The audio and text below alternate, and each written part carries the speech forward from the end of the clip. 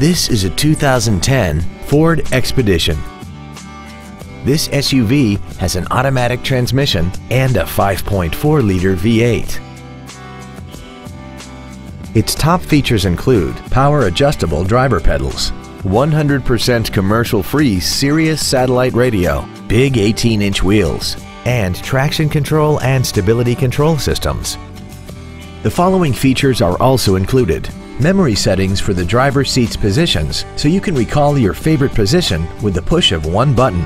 A multi-function display, a power rear lift tailgate, seven intelligently positioned speakers, leather seats, a trailer hitch receiver, running boards, an anti-lock braking system, air conditioning, and this vehicle has less than 33,000 miles.